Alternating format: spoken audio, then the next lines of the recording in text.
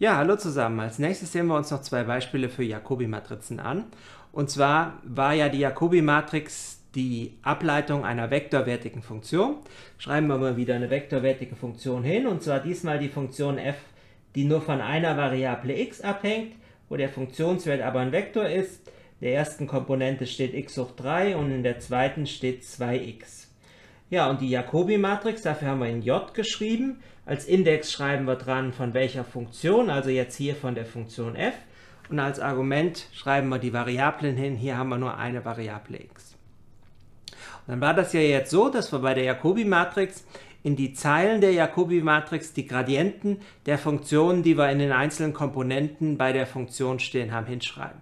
Und bei der Funktion f haben wir ja jetzt hier zwei Komponenten, also werden wir zwei Gradienten haben und die Funktion f hängt nur von einer Variable ab. Das heißt, in den einzelnen Gradienten steht jeweils nur eine partielle Ableitung oder eine Ableitung dann nur. Und da haben wir einmal x hoch 3. x hoch 3 ist abgeleitet 3x Quadrat. Das steht also jetzt in der ersten Zeile der Jacobi-Matrix und da wir keine weiteren Variablen haben, sind wir da auch schon fertig. In der zweiten Zeile brauchen wir den Gradienten von 2x. Auch hier bei unserer Funktion f haben wir eine Variable, also gibt es bei dem Gradienten nur eine Komponente, nämlich die partielle Ableitung nach x, also die ganz normale Ableitung nach x und 2x nach x abgeleitet ist 2. Und dann haben wir da was Neues stehen. Als Jacobi-Matrix bekommen wir jetzt einen Spaltenvektor raus. Das ist also dann der Fall, wenn wir den Spezialfall haben, dass die Funktion, die vektorwertige Funktion, nur von einer Variable abhängt. Also hinter so einer Ableitung, und wir hatten ja für die Ableitung auch dann einfach f' von x geschrieben, dann kann sich dahinter eine Funktion verbergen, wie das in der Schule war. Es kann sich ein Gradient verbergen, wenn wir da eine Funktion mit mehreren Variablen haben, eine reellwertige, dann war ja die Ableitung ein Gradient.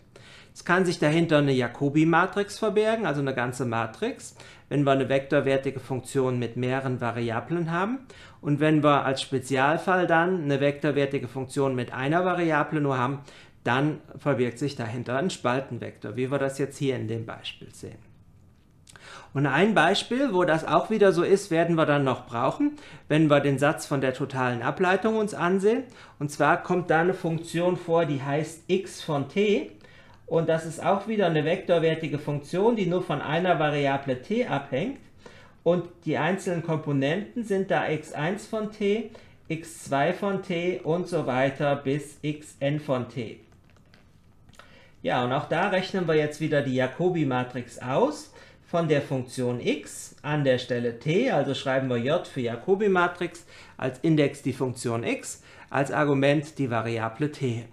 Und auch hier wieder eine Funktion von nur einer Variable t. Das heißt also, die Jacobi-Matrix vereinfacht sich zu einem Spaltenvektor, weil jeder Gradient nur aus einer Funktion besteht, nämlich der Ableitung nach t in diesem Fall hier. Das heißt, in der ersten Zeile haben wir den Gradienten der Funktion x1 von t stehen, das ist x1' von t. In der zweiten Zeile den von x2 von t, das ist x2' von t und so weiter in der Endenzeile xn' von t. Ja, also auch hier haben wir dann als Jacobi-Matrix einen Spaltenvektor. Und diese Funktion, diesen Spezialfall, den werden wir dann brauchen, wenn wir uns den Satz von der totalen Ableitung uns ansehen werden. Also was wir uns jetzt vielleicht noch merken können, wir können jetzt, wenn wir so eine Funktion haben und da f' von x als Ableitung steht, dann kann da sich eine einzelne Funktion hinter verbergen, ein Zeilenvektor für einen Gradienten oder eine ganze Matrix und im Spezialfall kann diese Matrix dann auch wieder nur ein Spaltenvektor sein. Das heißt also, wenn wir eine vektorwertige Funktion von nur einer Variable haben, dann bekommen wir als Ableitung hier so einen Spaltenvektor. Ja, so viel zur Jacobi-Matrix und zu den Beispielen dazu. Bis bald!